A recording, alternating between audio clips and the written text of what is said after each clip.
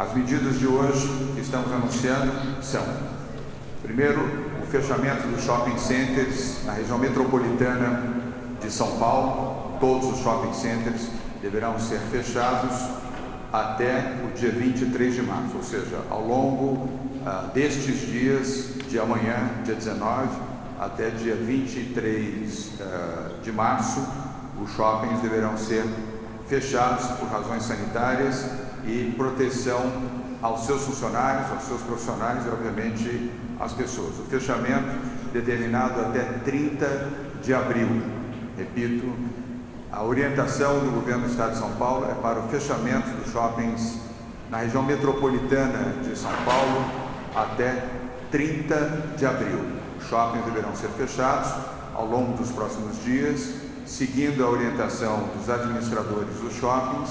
Eles poderão fazer isso gradualmente, desde que a partir da segunda-feira da próxima semana estejam fechados. Não há razão para pânico, não há razão para correria, há razão para gestão e administração desta orientação do governo do Estado de São Paulo. São medidas preventivas que nós estamos adotando aqui em relação ao comércio e, neste momento, exclusivamente para shopping centers de pequeno, médio e grande porte na região metropolitana, capital e região metropolitana de São Paulo. Esta medida não se aplica aos shoppings do interior e do litoral de São Paulo, pelo menos neste momento.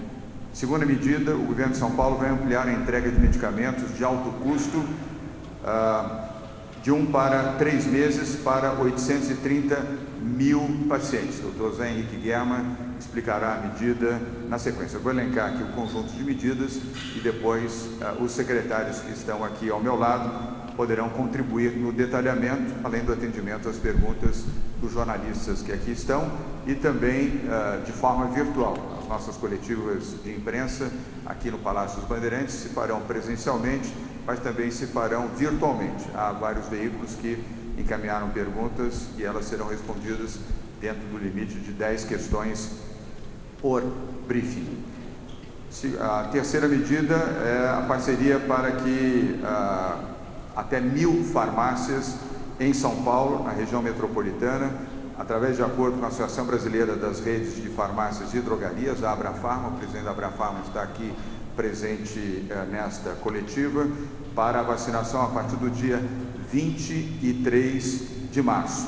A medida será implantada em cerca de mil farmácias, perdão, na capital de São Paulo, me referi à região metropolitana, mas é na capital de São Paulo, inicialmente na campanha de vacinação pública que começa no dia 23, como já estava programado. O fato novo é que as farmácias privadas farão ah, a aplicação da vacina. O doutor Davi Wippe explicará na sequência também esta medida.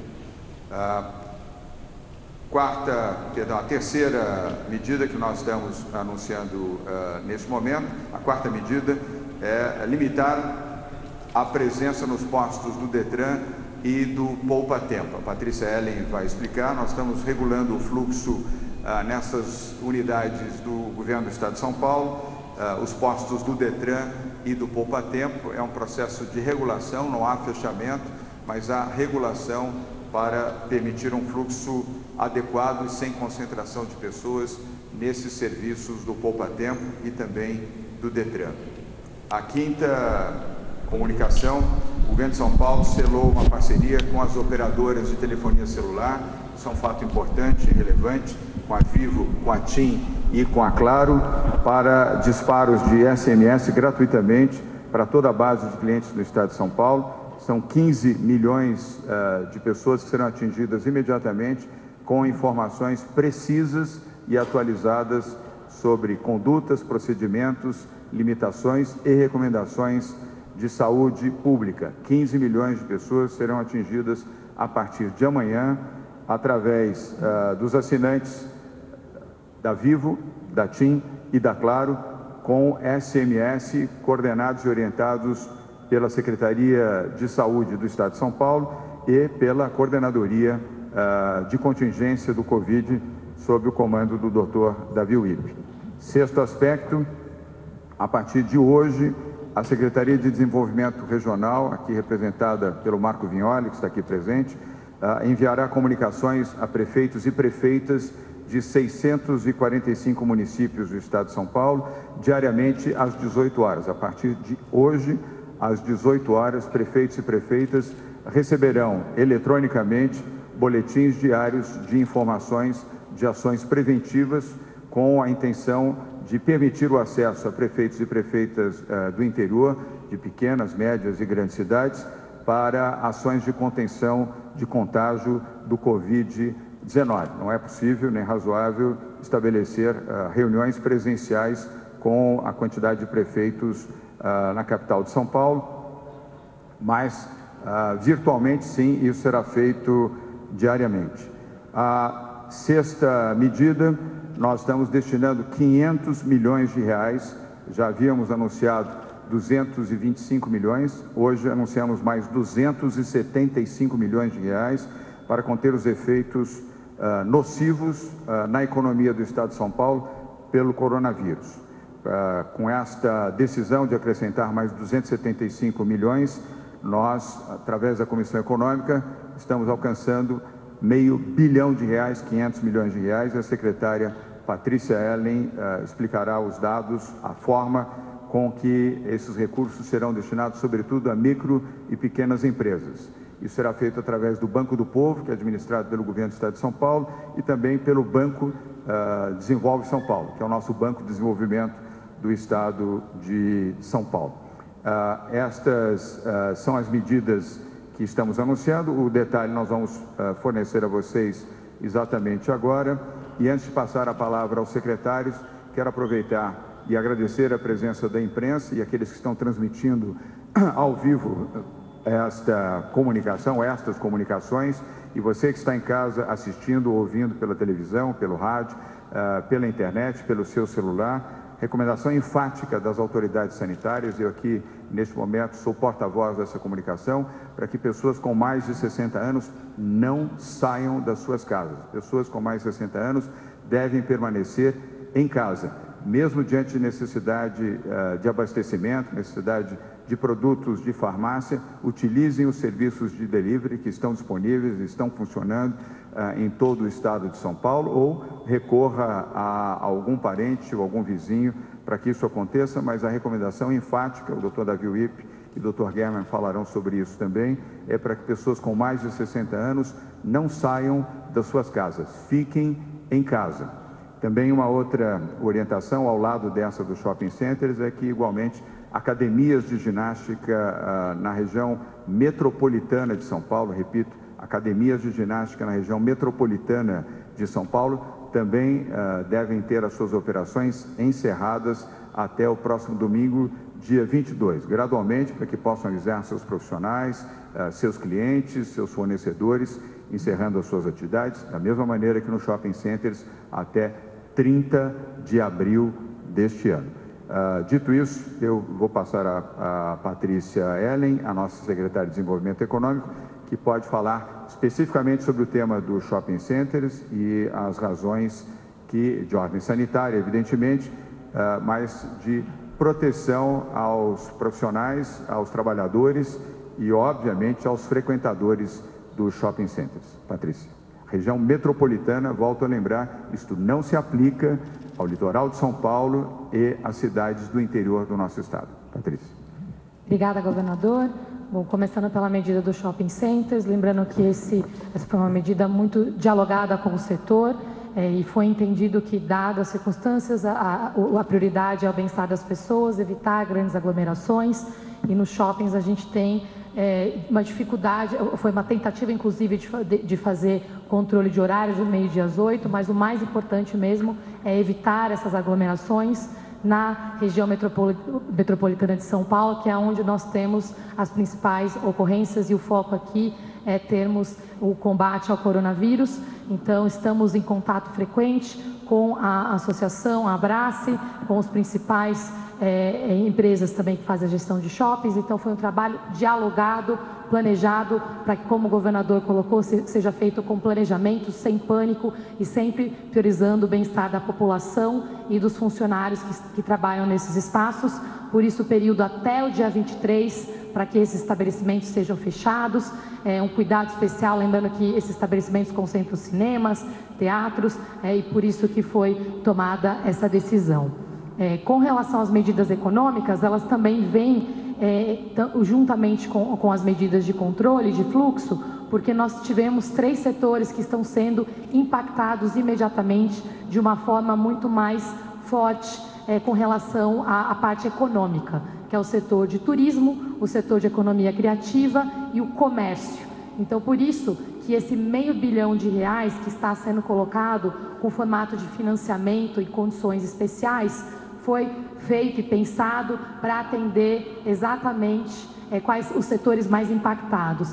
E aqui, além de termos linhas de financiamento através da Desenvolve São Paulo e do Banco do Povo, nós estamos também dando, estendendo o período aqui de pagamento do serviço da dívida, governador, 60 a 90 dias, é, sem pagamento nesse período, para todos os que solicitarem. Então, junto com meio bilhão de reais, nós também estamos entendendo a situação de todo o setor para que tenham esse período para se organizar de 60 a 90 dias. A solicitação deve ser feita diretamente à Desenvolve São Paulo e ao Banco do Povo. E por último, foi mencionada aqui a parte do, do Poupa Tempo, atendendo novamente, né, se a gente está pedindo isso para fora, para dentro, o Poupa Tempo é um lugar de grandes aglomerações, por isso que está sendo feito o controle de fluxo e também se priorizando o acesso aos serviços online.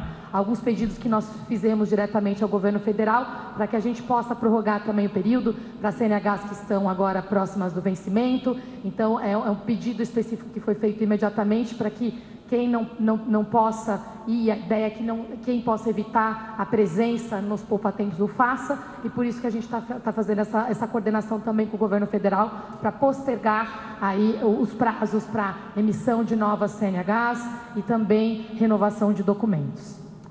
Queria apenas uh, enfatizar que este crédito prioritariamente está destinado às empresas do setor de turismo, da economia criativa, uh, do comércio e no comércio e economia criativa eu queria destacar restaurantes, bares, cafés, uh, padarias e similares. Eles terão direito a esse crédito especial subsidiado que agora totaliza meio bilhão de reais aqui no estado de São Paulo. As linhas de crédito já estão disponíveis através do Banco de Desenvolvimento do Estado de São Paulo e o Banco do Povo, evidentemente, para o microcrédito, que atende uh, os microempreendedores. Eu agora vou passar a palavra ao doutor José Henrique Guerma, secretário da Saúde do Estado de São Paulo. Tem apenas aqui uma, uma pequena correção a fazer na minha própria manifestação. A vacinação oficial no Estado de São Paulo, aliás, em todo o país, começa no dia 23 de março. Isso já havia sido decidido aqui numa reunião com o ministro Luiz Henrique Mandetta há cerca de 10 dias, apenas reafirmando que a vacinação de fato começa no dia 23. As vacinas já foram produzidas e distribuídas pelo Instituto Butantan ao Ministério da Saúde. O Ministério segue na distribuição a todos os estados brasileiros e, até onde sei, a vacinação em todo o país começa de fato no dia 23 de março, aqui em São Paulo, não há nenhuma dúvida sobre isso. Porém, nas farmácias privadas, em mil farmácias na capital de São Paulo, começa no dia 13 de abril. Nós teremos ainda a oportunidade de dar comunicações mais específicas sobre essas farmácias, eh, aonde elas se localizam, através do site da Abrafarma e também da Secretaria de Saúde. Portanto, aqui uma pequena correção com relação às farmácias na capital de São Paulo a vacinação será gratuita e válida a partir do dia 13 de abril. Nos postos de saúde, a partir do dia 23 de março, postos de saúde do governo do estado de São Paulo, e o doutor Guerma vai se referir a isso, e também da prefeitura da capital de São Paulo. José Henrique Guerma, secretário da Saúde do estado de São Paulo, por favor. Muito boa tarde.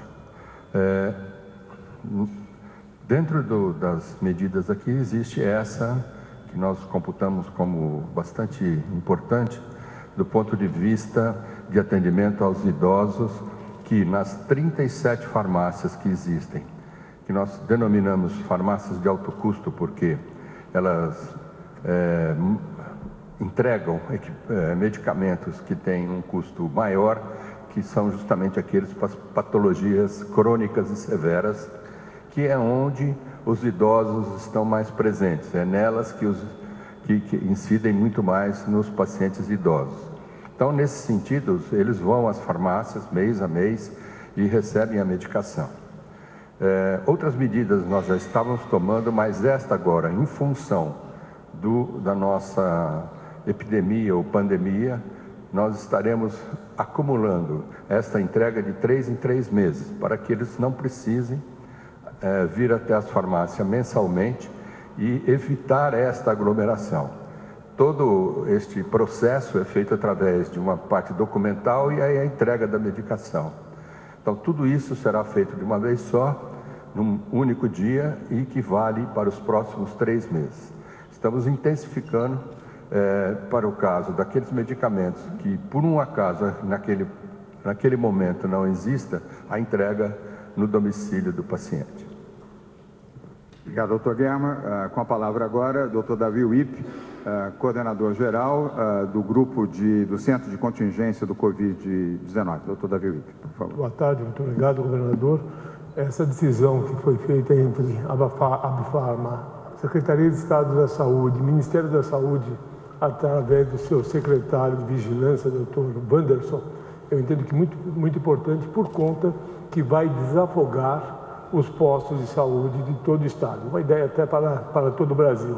A ideia também é adicionar a aplicação da vacina do sarampo. Então, vacina influenza e sarampo numa programação hierarquizada que segue a decisão do Ministério da Saúde.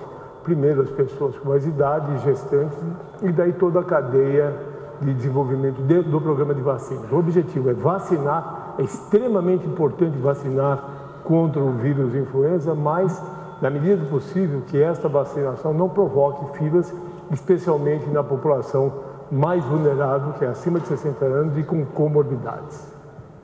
Muito bem, uh, vamos agora às perguntas uh, dos jornalistas. Nós teremos perguntas presenciais e perguntas também uh, encaminhadas e que serão respondidas aqui virtualmente e digitalmente. Uh, nós vamos começar com o Jornal Estado de São Paulo, jornalista Bruno Ribeiro.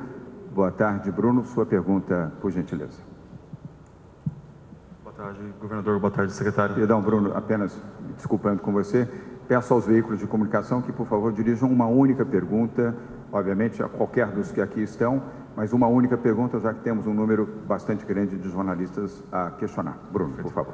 É, secretário, secretário é, a gente queria também um balanço de como está a situação nos hospitais, é, aumento de, de, de, é, atendimento, número de pacientes em estado grave nas UTIs, é, aumento de, de pacientes com, com, doenças respiratórias. Como é que está isso no, no momento?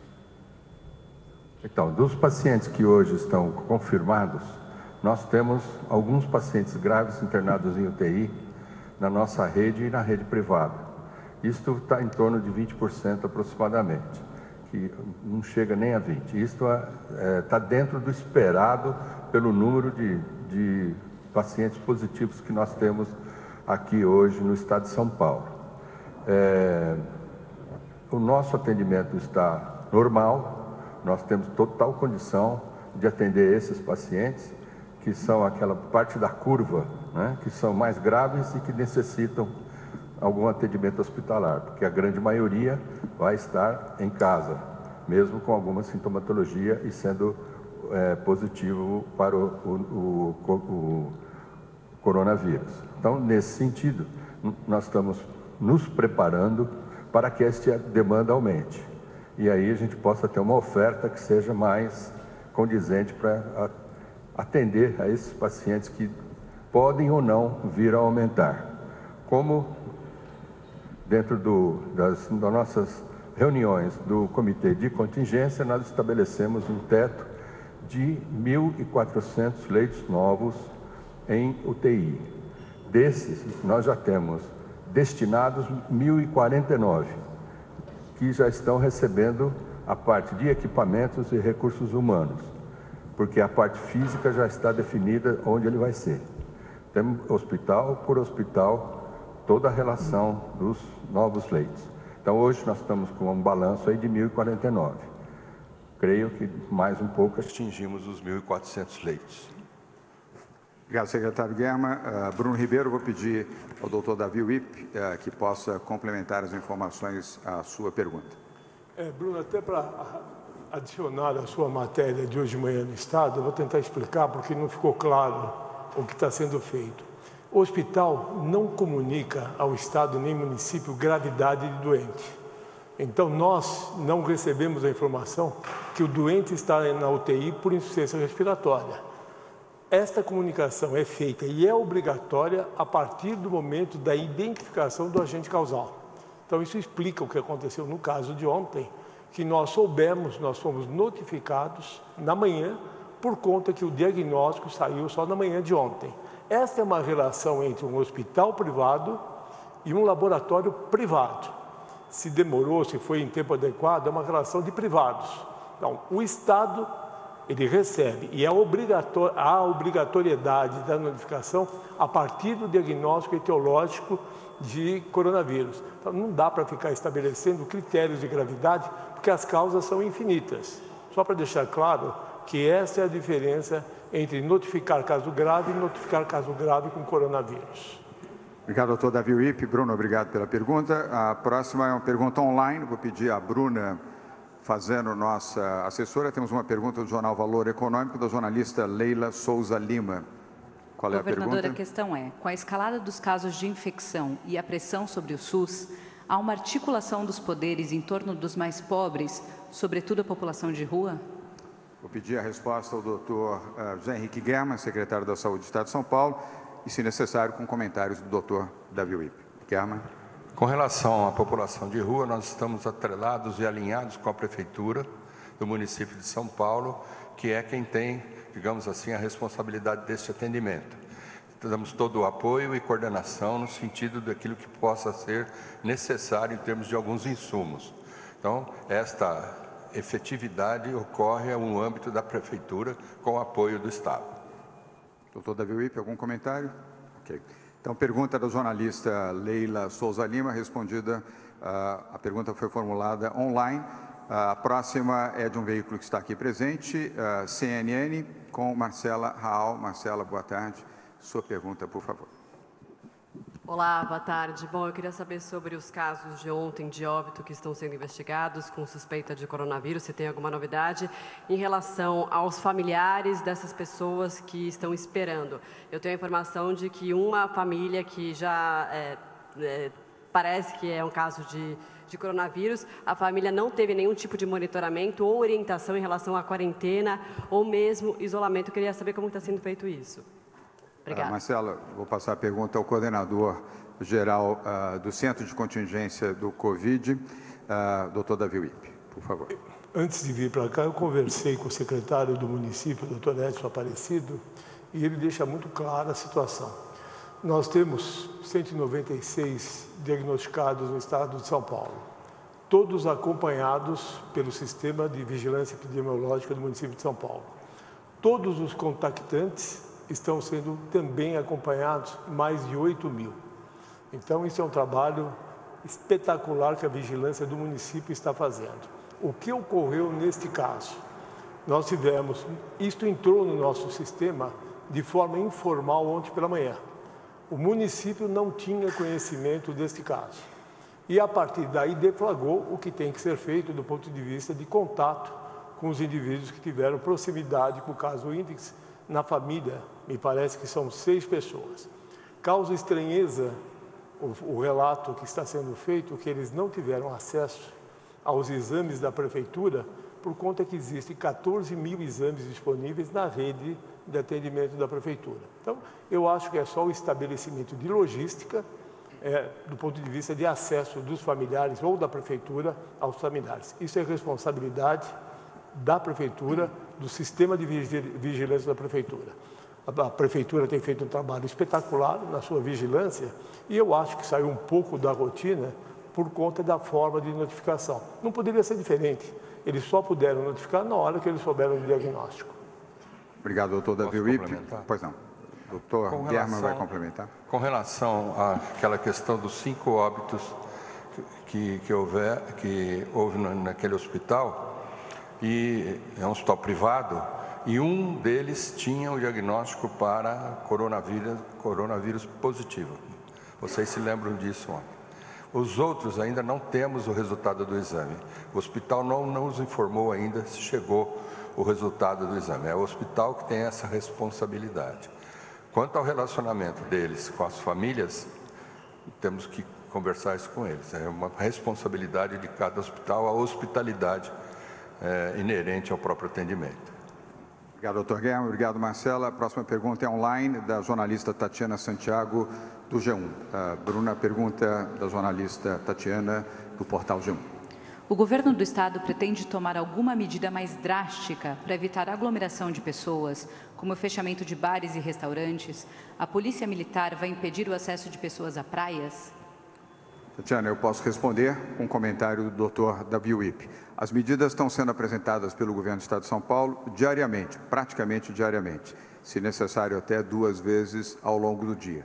São medidas uh, estabelecidas e fundamentadas em decisões científicas, portanto, são uh, baseadas em uh, informações que vêm da área médica e da área sanitária. Nós não tomamos decisões nem precipitadas, nem decisões de ordem política. As nossas decisões são fundamentadas. Neste momento, não há uh, nenhuma razão para medidas mais drásticas, além daquelas que já foram anunciadas ao longo dos últimos dias e as que estão sendo anunciadas exatamente agora. A jornalista Tatiana não sabia, evidentemente, das medidas que estamos adotando a partir de agora. Ela está uh, online, ela não, está aqui presente na coletiva no Palácio dos Bandeirantes. Uh, acesso às praias, não há nenhum registro de necessidade de limitação na área do litoral, seja Baixada Santista, litoral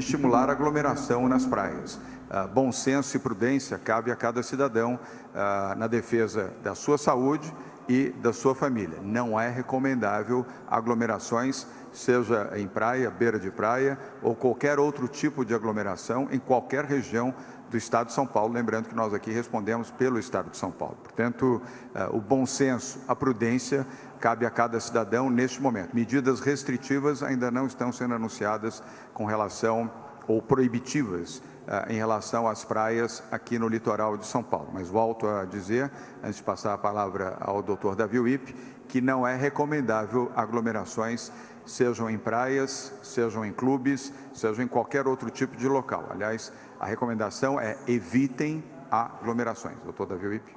É, eu represento aqui a coordenação de um grupo de mais nove especialistas que subsidiam o secretário e o governador.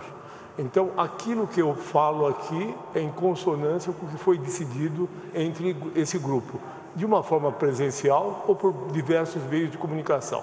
Nós subsidiamos o secretário e o governador. Neste momento, esse grupo subsidia o governador e o secretário da forma absolutamente equivalente ao que está acontecendo.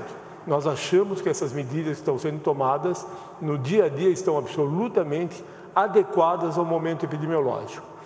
Uma outra coisa, governador, e o senhor é testemunha disso, secretário também, nós não vamos nos furtar de indicar as medidas que forem necessárias para conter essa epidemia.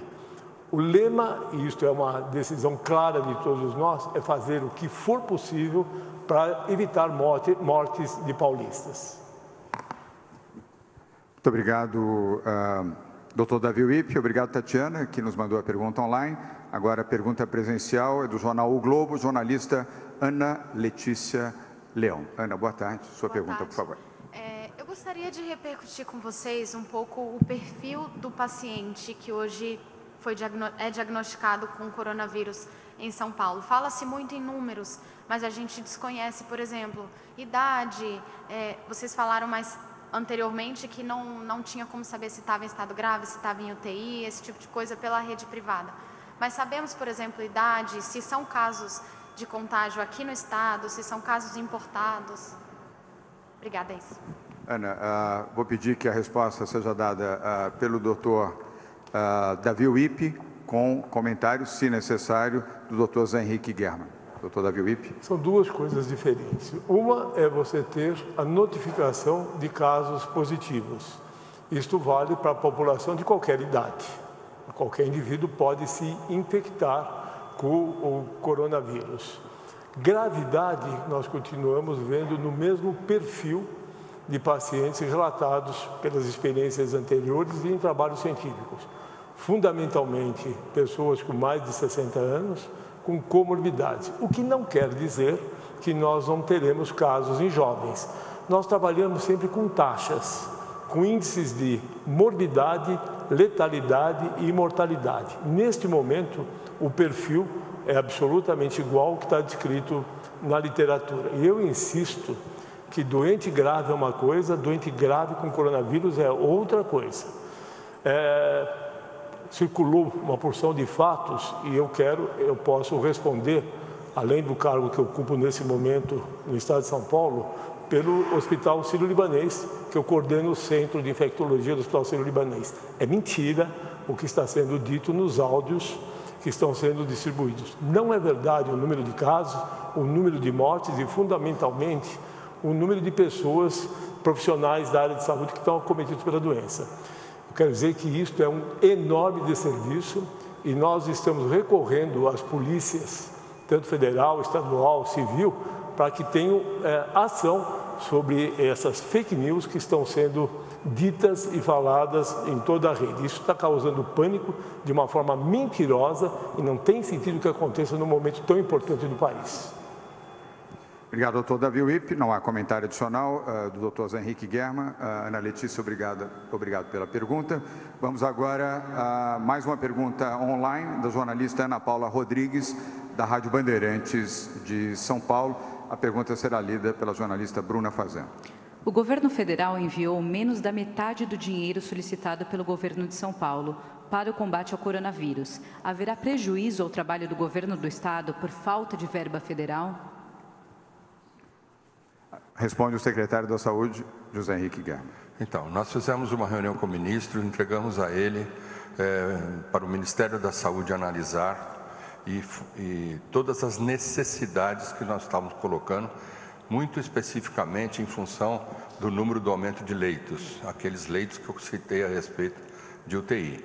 Isso será está sob análise do Ministério e foi combinado de que eles seriam repassados as verbas de uma forma escalonada. A primeira parcela veio, já está é, fundo a fundo, que assim nós chamamos, do Fundo Nacional para o Fundo Estadual, de 92 milhões de reais. Esta verba agora passa a ser a, nossa, de nossa gerência e vamos trabalhar isso tanto no Estado como para cada um dos municípios que haja necessidade. Uh, quero complementar a Ana Paula Rodrigues, você que deve estar nos assistindo e ouvindo pela Rádio Bandeirantes, que uh, o governo do Estado de São Paulo solicitará mais recursos ao Ministério da Saúde uh, oportunamente. Entendemos que o recurso é bem-vindo, o ministro agiu correta e diligentemente, mas o epicentro do coronavírus, desta crise sanitária, é o Estado de São Paulo. respeito muito a decisão do ministro de conceder R$ reais por habitante, mas a necessidade do Estado de São Paulo é maior do que os 92 milhões de reais já anunciados pelo Ministério, mas nós vamos fazer isso oportunamente, daremos conhecimento à imprensa, mas antes, até eh, em respeito ao ministro, diretamente ao ministro da Saúde, Luiz Henrique Mandetta. A próxima pergunta uh, é presencial, é da TV Cultura, jornalista uh, Vanessa Lorenzini. Vanessa, boa tarde. Sua pergunta, por favor. Boa tarde, governador. Eu gostaria de saber se há alguma restrição prevista para metrô e CPTM e se não houver alguma orientação especial para quem utiliza o transporte público. Ah, eu respondo com comentários eh, complementares do Dr. Davi Wip. Neste momento, nenhuma medida restritiva ao metrô, ao uso do metrô, Uh, e ao uso dos trens da CPTM e nem tampouco da circulação de trens, tanto no metrô quanto na CPTM. Lembrando que o transporte de pneus, ou seja, de ônibus, é de responsabilidade dos municípios, o município, a capital de São Paulo, e nós respeitaremos as decisões que forem adotadas pelo prefeito Bruno Covas e também das cidades da região metropolitana do estado de São Paulo. No âmbito do governo, não teremos restrição nem de acesso, nem restrições na diminuição da oferta do transporte. Haverá sim, isso já começou desde a semana passada, um trabalho de limpeza e higienização de todos os vagões dos trens do metrô, dos trens da CPTM, uh, eh, o sistema de transporte ferroviário aqui da capital de São Paulo, assim como dos banheiros e das áreas comuns uh, de uso das pessoas que se dirigem às estações e aos trens. Isso foi triplicado, o sistema de limpeza, essa foi a orientação dada por mim, como governador de São Paulo, ao secretário de Transportes Metropolitanos, Alexandre Baldi. Uh, se tivermos um comentário do doutor Davi Wip, por favor. Nós entendemos que as medidas estão adequadas pelas decisões já tomadas, o afluxo a essas vias de transporte já está muito menor. Então, nós entendemos que é importante a manutenção por conta até de ida e vinda de pacientes e de pessoas que precisarão usar o sistema de saúde. É, doutor Davi, antes passar para a próxima pergunta, doutor Guerra, secretário de Saúde, deseja complementar. Guerra. É só para aproveitar a oportunidade é, a respeito de um processo de aglomeração bastante grande que é o metrô e o transporte urbano público. É, nesse sentido, eu gostaria de retornar às palavras iniciais do governador, que é para que aquelas pessoas acima de 60 anos fiquem em casa, para que eles possam utilizar o metrô e o transporte urbano daqui a alguns meses. E cabe aqui a minha complementação a essa orientação e em resposta à jornalista da TV Cultura aqui presente, recomendar às pessoas que estão nos assistindo, estão nos ouvindo e as que estarão lendo e nos acompanhando para que lavem as mãos constantemente. Essa orientação está sendo dada, inclusive, numa campanha de rádio, televisão e internet pelo Dr. Davi Wip. A nova campanha será ah, colocada no ar, dando continuidade atual ainda esta semana, mas a orientação é lave as mãos com água corrente e sabão, pelo menos 20 segundos. As pessoas já sabem como uh, devem fazê-lo de forma completa e a utilização do álcool gel uh, homens e mulheres, uh, adultos ou jovens ou crianças devem ter sempre à disposição, se possível, álcool gel, se não tiverem condições de acessar um banheiro para a lavagem das suas mãos. Quanto mais vezes as mãos forem lavadas, melhor será a condição de proteção desta pessoa. Vamos à próxima pergunta, é presencial, é da Globo News, o jornalista William Cury. Will, uh, boa tarde. Sua pergunta, por favor. Boa tarde, tudo bem? A gente tem um cenário de crise de saúde pública que é Só levantar o microfone um pouquinho, mais para direcionar isso. Um cenário de crise de saúde pública que é grave, mas tem também um cenário de crise econômica que é tão grave quanto, né? E tem medidas como o fechamento de shoppings, que tem todo tipo de loja, bar, restaurante, academia. Agências de turismo estão sofrendo com cancelamentos de pacotes, muita gente está marcando prejuízo. Tem a linha de crédito de meio milhão que vai tentar socorrer um pouco do empresário que vai sofrer. Mas com fechamento de shopping, pelo menos por um mês, quero saber se já houve um estudo com as próprias gestoras dos shoppings, com o setor dos lojistas, de quantas pessoas vão perder o emprego por causa dessa medida. Will, vou dividir a resposta com a secretária Patrícia Ellen, apenas um esclarecimento dado ao enunciado da sua pergunta, ainda que você não tenha tido a intenção, nós não estamos determinando o fechamento nem de bares, nem de restaurantes, nem de padarias, nem cafés, nem confeitarias neste momento. Óbvio que a recomendação é evitem, uh, evitem aglomerações, seja aonde for. E pessoas com mais de 60 anos não devem sair das suas casas, devem permanecer em casa, mesmo que residam do lado de uma padaria, do lado de um pequeno mercado, do lado da farmácia, não devem sair de casa. Fiquem em casa. Esse é o setor, é, esse é o segmento da população com maior fragilidade. O doutor Davi Wip tem alertado isso constantemente, o doutor German também. Outros médicos infectologistas e especialistas em epidemia têm feito essa recomendação e ela deve ser rigorosamente obedecida. Mas quero lembrar que se houver necessidade de medidas de contingência que atinjam também este setor, uh, nós determinaremos e nós informaremos.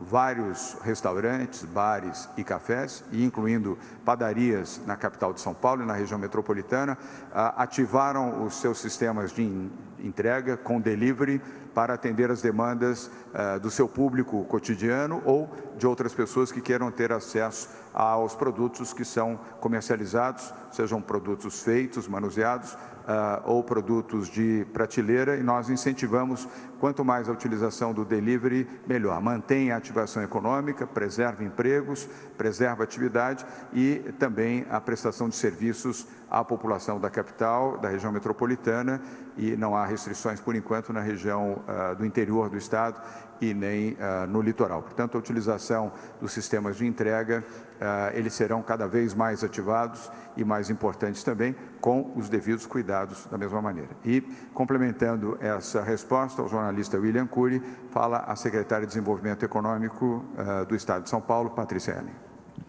Com relação aos impactos, é, nós sabemos que teremos um impacto bastante grande, infelizmente não é local, ele é global. É, o governador instituiu já na semana passada a comissão econômica que está acompanhando esses impactos diariamente, com a presença do vice-governador, secretário Henrique Meirelles, presidente da Investe São Paulo, Wilson Mello, presidente da Desenvolve São Paulo, Nelson de Souza, e também os secretários dos setores mais impactados, secretário Sérgio Saleitão da Economia Criativa e o secretário Vinícius Lumers do Turismo. O que nós percebemos é que esses setores estão precisando de uma atenção especial e foi por isso que essa linha de meio bilhão ela está focada exatamente neles, nos pequenos estabelecimentos, turismo, economia criativa e comércio. Com a relação à decisão de fechamento dos shoppings, eu queria esclarecer duas coisas. Primeiro, é uma recomendação do governo do estado de São Paulo para a região metropolitana e que foi discutida com os próprios gestores de shopping. Esse pedido foi feito, o foco agora não é maximizar receita dos shoppings, e eles mesmos disseram isso, é maximizar o bem-estar da população, da população que frequenta esses shoppings e dos funcionários desses shoppings. Esse é um momento que exige muita solidariedade, muito planejamento e a gente precisa entender o que nós podemos proteger e o que nós não podemos. A ação aqui é direcionada pela Secretaria da Saúde, pelo Ministério da Saúde, com foco em salvar e proteger vidas.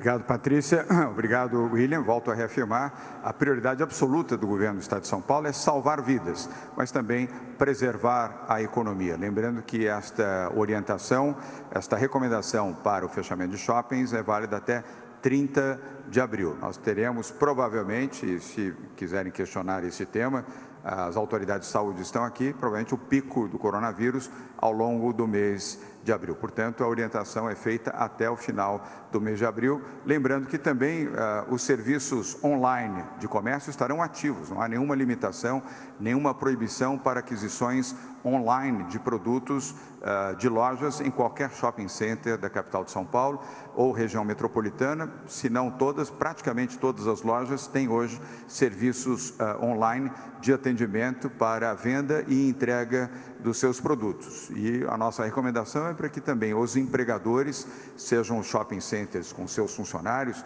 de gestão, manutenção, segurança, não demitam, preservem os empregos, assim como os lojistas. O coronavírus não se eterniza, o coronavírus tem um prazo uh, determinado onde ele deixará de existir. Óbvio que o nosso foco agora é como combatê-lo, como minimizar os efeitos, como salvar vidas.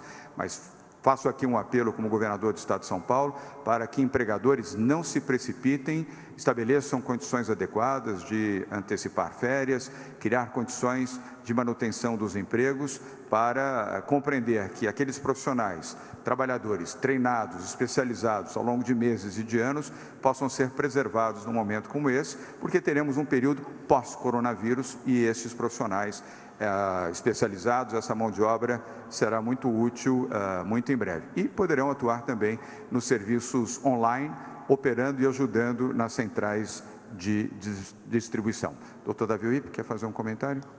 Ok. Então, obrigado, William. A próxima pergunta é também online.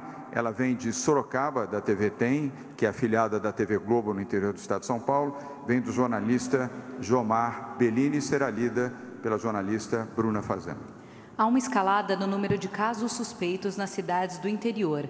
Existe algum plano específico para conter esses casos no interior? A pergunta será ah, respondida ah, pelo Dr. Zé Henrique Guerra, embora já tenha sido parcialmente respondida, apenas para, por delicadeza ao jornalista João Marbellini, lembrando que as perguntas foram formuladas antes do início da nossa coletiva. Dr. Guerra. Ah, as medidas que têm que ser realizadas são as mesmas que nós estamos tomando aqui no Grande São Paulo. É, vocês que conhecem as pessoas, é, o nosso secretário é, executivo e, e o coordenador da, da, área de controle de doenças, que sempre estão conosco, não estão aqui hoje. Eles não estão aqui porque nós tínhamos programado para o interior ah, uma, uma apresentação e distribuição de protocolos do que deve ser feito na terça passada, e é, para esta terça, né? E com a, com a determinação e o decreto da, do fim né, do, do combate às aglomerações, é, nós suspendemos e estamos fazendo hoje, via é, online. Então, nós vamos gradativamente passar todo o interior, todos os hospitais, todas as santas casas. Tu, aqueles que não puderem fazer via online, nós estamos tentando fazer uma região de acordo com a fazendo a regional das nossas regionais de saúde pelo estado de São Paulo, que são 17. Então, é, isso está sendo passado e repassado e faz parte de uma capacitação gerencial para todos os é, diretores regionais por via online. Muito obrigado.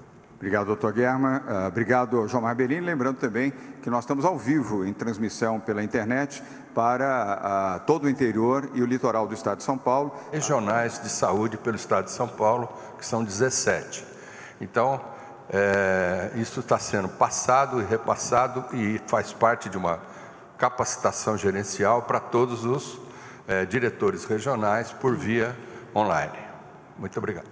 Obrigado, doutor Guerma. Uh, obrigado, João Marbellini. Lembrando também que nós estamos ao vivo em transmissão pela internet para. Uh... De que já seriam três casos confirmados. Além do porteiro, mais uma pessoa de 87 anos e uma de Três anos, que inclusive ocuparia um lar de idosos. O senhor tem essa informação já, é, coordenador? E se tem, como é que acontece é, a divulgação e a checagem desses dados? Parecem perguntas diferentes, mas a gente entende que deve existir um delay, uma demora entre vocês saberem essas informações e a divulgação na imprensa. Obrigada. Kleisler, uh, obrigado pela pergunta. Eu vou pedir ao nosso coordenador do Centro de Contingência do Covid, uh, Dr. Davi Wip, que possa responder a sua pergunta. Eu não tenho essa informação, talvez o secretário tenha, também não tem, nós não temos essa informação. O caso de óbito foi aquele noticiado ontem daquele senhor de 62 anos. Nós não temos outras notificações. Só para esclarecer, o governo do Estado, o governo federal também, age com absoluta e total transparência. A comunicação ela está sendo feita imediata. Ontem nós tivemos a formalização da comunicação eram 10 e meia, 11 horas, a coletiva foi às 13 horas. Então, nós comunicamos imediatamente após nós sabermos e confirmarmos os casos de morte. Obrigado, doutor Davi Wip. Uh, Cleisla, muito obrigado pela sua pergunta. Temos mais duas ainda na coletiva de imprensa de hoje, aqui no Palácio dos Bandeirantes, em São Paulo. A pergunta agora é do SBT, jornalista Carol uh, Aguaidas, Aguaidas, estou pronunciando Aguaidas, estou pronunciando corretamente? Boa tarde. Sua pergunta, por favor. Boa tarde, governador. Boa tarde a todos. Queria saber sobre a área da segurança, na verdade, né? A gente tem uma informação de que as delegacias de polícia poderiam começar a operar num sistema também reduzido. Só que a gente teve aí uh, fuga em massa, né, de presídios e menos pessoas nas ruas, né? As pessoas se sentem um pouco mais inseguras nessa à mercê. É, tem algum efetivo maior? Não vai ter? Tem redução também nesse efetivo de segurança? Como é que vai funcionar? Uh, obrigado pela pergunta. Não, não há nenhuma redução do efetivo, nenhuma redução de funcionamento. Ao contrário a reforço de policiamento de todo o Serviço de Segurança Pública do Estado de São Paulo e também no sistema prisional. Está absolutamente sob controle. Uh, as cadeias que uh, tiveram consequências disso há dois dias uh, são sistemas de prisão temporária, não são os centros penitenciários do Estado de São Paulo, absolutamente sob controle. e ontem nós tivemos uma reunião com o secretário de Segurança Pública do Estado de São Paulo, uh, General Campos, uh, com toda a nossa estrutura aqui, sistema prisional, Polícia Civil e Polícia Militar, operando normalmente e reforçadamente, em alguns casos, para garantir a segurança dos brasileiros de São Paulo. delegacias têm regime especial ou não? Não, não, não, não, nada, absolutamente nada. Não há nenhuma alteração no funcionamento das delegacias da Polícia Civil no Estado de São Paulo, em todo o Estado de São Paulo, incluindo capital região metropolitana, e também nenhuma alteração no funcionamento das DDMs, Delegacias da Mulher, sejam aquelas que operam 24 horas, sejam aquelas que operam uh, no regime diurno. A última uh, pergunta de hoje uh, é do jornalista que estava exatamente falando ao vivo, o jornalista Giba Bergamin, da TV Globo. Giba, boa tarde. Uh, ou Wallace, que eu vejo aqui ao lado, embora não esteja com o nome. Ele me deu a vez, governador. Ok, Wallace. Vou passar para o Wallace, governador. Desculpa. Perfeito. Wallace, boa tarde. Boa tarde, boa tarde a todos. Governador, vou. A minha pergunta, o senhor vai se lembrar, eu acho que eu já fiz parcialmente no domingo, só que agora o quadro mudou. Perguntei ao senhor no domingo passado. Quando é que nós vamos deixar o quadro de recomendação e passar a ser de proibição? É, de lá para cá, nós tivemos mortes, tivemos um número maior de contágios e hoje vocês estão novamente recomendando que os shoppings fechem. Eu estou perguntando isso por quê? Porque eu tenho visto bares, restaurantes, metrô, todos com movimento. Menos movimento, mas todos com movimento. E nesse cenário de recomendação. Quando é que nós vamos adotar o termo proibição? Quando for necessário. O governo do Estado de São Paulo age de forma e amparado nas informações advindas eh, do Centro de Contingência do Covid-19. Não houve eh, nenhuma restrição a restaurantes, bares, padarias e cafés até o presente momento. Houve sim, e volto a reafirmar, recomendação para que pessoas com mais de 60 anos não saiam das suas casas por nenhuma razão, exceto casos extremos, e que evitem aglomerações. As pessoas aqui no estado de São Paulo, quero voltar a afirmar, têm tido visão responsável e solidária em relação a esse problema. Uh, se houver algumas circunstâncias diante das medidas de recomendação do governo do Estado de São Paulo que não sejam obedecidas, usaremos a força da lei e aí será determinado por lei. Nenhuma das recomendações feitas até aqui pelo Centro de Contingência do Covid-19 até o presente momento foi desobedecida por nenhum setor. Todos seguiram rigorosamente essa orientação e, sinceramente, não vejo razão para haver desobediência, uma questão de saúde pública e de interesse daquelas pessoas que ou estão no ambiente ou empregam no ambiente e dependem disso não só para viver, como seus negócios para sobreviver. Havendo necessidade, Wallace, de medidas mais duras, o governo do Estado de São Paulo não hesitará em colocá-las em prática. Até o presente momento, as recomendações têm sido obedecidas e aproveito a sua pergunta para, ao final dessa coletiva, eh, recomendar às pessoas que estão nos assistindo, estão nos ouvindo, estão nos acompanhando, sigam rigorosamente as orientações do governo do Estado de São Paulo. Elas são diárias e às vezes mais de uma vez, por isso temos o Centro de Contingência do Covid-19, sob a coordenação de um infectologista respeitado, como é o Dr. Davi Wip. Ele não age sozinho, nós temos um grupo, hoje são 12 pessoas, sob a coordenação do Dr. Davi, mais a participação do secretário Zé Henrique Guerma, uh, do Estado de São Paulo, e também uh, do secretário José Aparecido, do município, da capital de São Paulo, tal do fato de que a capital, com 13 milhões de habitantes, é uma cidade que tem o maior volume de pessoas infectadas em todo o país. O governo do Estado de São Paulo age de forma sensata, equilibrada e entendendo a gravidade dessa pandemia. O governo do Estado de São Paulo não vê nenhuma fantasia, não vê histerismo nas atitudes que estamos tomando aqui e nas atitudes que outros governadores uh, de estados brasileiros vêm uh, tomando. Aqui em São Paulo, nós estamos coordenando, estamos à frente de todas as medidas uh, e convidando a população a cooperar, convidando setores produtivos da área privada a cooperar, convidando o sistema de saúde privado também a cooperar e estamos integradamente com prefeituras dos 645 municípios do estado de São Paulo, a começar da prefeitura da capital paulista. E assim continuaremos. São Paulo está pronto para fazer tudo que for necessário e aqui nós não temos hesitação, temos ação. Muito obrigado a todos, boa tarde e amanhã voltaremos ao contato com todos. Muito obrigado.